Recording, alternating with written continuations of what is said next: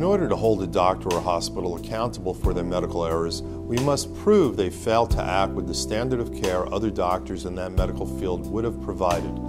Further, we must show that the injury was a direct result of the substandard care.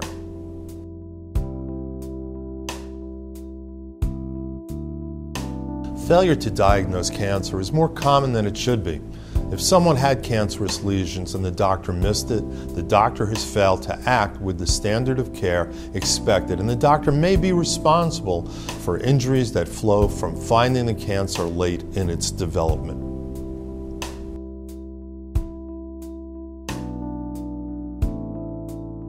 Oftentimes, babies are injured by the doctor during delivery. If the doctor waits too long to perform a cesarean section or is too forceful during delivery, the doctor can be held accountable for providing substandard medical care.